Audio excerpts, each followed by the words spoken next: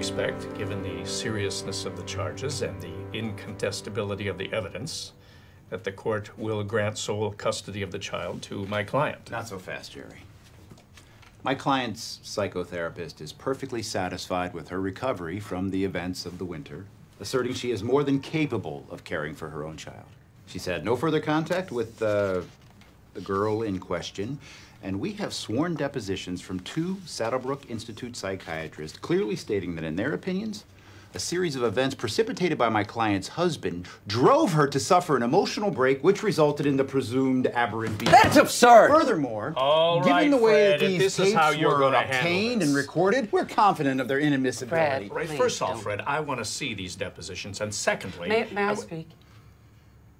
I won't deny the truth of what's contained. This is off the record, honey. May as well be on the record.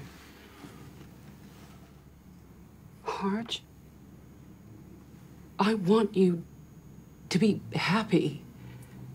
I didn't give you that. I. I failed you. I mean, we both could have given more, but we gave each other Rindy. And that is the most breathtaking, the most generous of gifts. So, why are we spending so much time trying to keep her from each other? Now, what happened with Therese, I want it. And I will not deny it or say that I.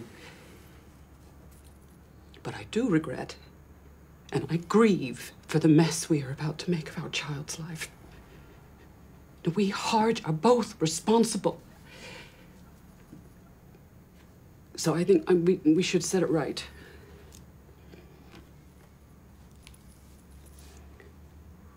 Now, I think that Harge should have custody of Rindy. Could I suggest we just take a break for a No, moment? I don't No, like to- client has the Fred, right will you make let me statement. speak? Because if you don't, I will not be able to cope. Now, I'm no martyr. I have no clue what is best for me, but I do know and I feel it in my bones what is best for my daughter. Now, I want visits with her Harge. I don't care if they're supervised, I just want them to be regular. You know, there was a time when I would have done almost anything. I would have locked myself away to keep Rindy with me. What use am I to her, to us, if I'm living against my own grain? So that's the deal. I won't, I cannot negotiate anymore. You take it or leave it. But if you leave it, we go to court. And if we go to court, it'll get ugly. And we're not ugly people, oh, Harge.